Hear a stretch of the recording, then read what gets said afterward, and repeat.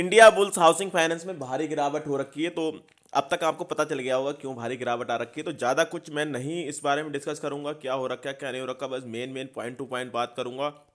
और उससे पहले चैनल पर नया है तो चैनल को सब्सक्राइब कर लेना। आपके सारे डाउट दूर करने की कोशिश करूँगा अभी कि भाई लॉस बुक करना है, क्या नहीं करना है, काफ़ी भयंकर गिरावट हो रखी है। और इसके अलावा टेलीग्राम चैनल ज्वाइन कर सकते हैं फ्री ऑफ़ कॉस्ट है, वहाँ पर हम डिस्कशन करते रहते हैं।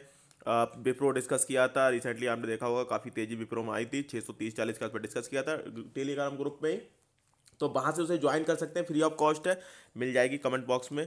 पिन कमेंट मिल जाएगा, बाकी डिस्क्रिप्शन में जाके कर सकते हो। तो स्टेक इसमें सेल किया था, इनके प्रमोटर ने, और ख़रीदा किसने था, इसने था एडाया और Blackstone acquire stake in Indiabulls housing finance. तो जो भी थी, इन्होंने खरीदा था। अब कोई बेचेगा तो कोई तो खरीदे ही खरीदेगा, ठीक है? तो इन्हें तो भाई कुछ अच्छा लग रहा होगा कि भाई आगे आने वाले फ्यूचर में कुछ अच्छा करेंगे, तभी इन्होंने खरीदा है, ठीक है? जो भी है। इससे पहले एक अब और खबर बता दूँ आपको। थोड़े दिनों पहले की बात है कि शायद डील हुई थी पीएनबी हाउसिंग फाइनेंस में। उसमें काल ग्रुप ने खरीदा था स्टेक। शायद दो तीन तीन महीने के आसपास हो गए। उसके बाद पीएनबी हाउसिंग फाइनेंस रॉकेट हो गया था। फिर बाद में कुछ और खबरें आई फिर बस में गिरावट आ गई। तो ये चीज़ें आप प्रिडिक्ट नहीं कर सकते कब क्या होगा। तो मैंने बस एक डील के बारे में आपको बताया था कि ऐसा हो सकता है मे बी क्या पता। इसमें भी वैसा सच टाइप सब हो जाए ठीक है। अब आ, ये बेचा था ये तो आपको पता ही चल गया इन्होंने स्टैक बेच दिया था समीर गहलोत ने। उसके बाद अभी रिसेंटली इन्होंने बोर्ड से भी रिजाइन दे दिया है। यहाँ से भी तो ठीक है। अब जो होना था वो खबरें हो गई। इसके अलावा मार्केट में ही भारी गिरावट हो रखी थी तो फिर ये कहाँ से बचने वाला? एक तो वैसी थोड़ी सी खबरें ऐसी, ऊपर से मार्केट गिरावट, इस वजह से भारी गिरावट हो रखी थी इसमें। अगेन बात कर लेते हैं, अब चार्ट पर, टेक्निकली देख लेते हैं। टेक्निकली वो पर्सनली मुझसे पूछोगे तो इंडिया बुल हाउसिंग फाइनेंस सालों साल डाउन ट्रेंड में चल रहा है। ये पहले आठ सौ, नौ सौ रुपये के आसपास हुआ करता था 2018 से पहले के आसपास में।